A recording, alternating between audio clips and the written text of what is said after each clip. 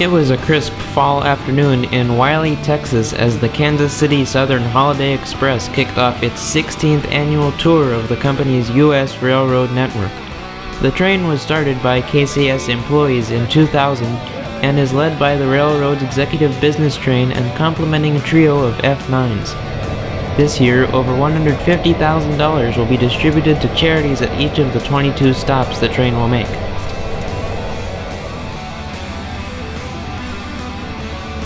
KCS 1, 2, and 3 were built by GMD for Canadian National in the mid 1950s. Today they wear the classy Southern Belle scheme and are railfan favorites across the KCS system.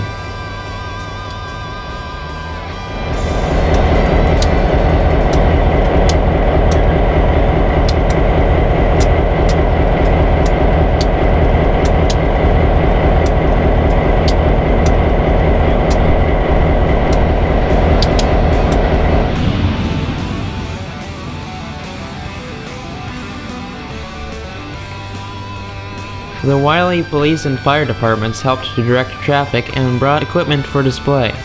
Check out the railroad themed City of Wylie logo on this fire department vehicle.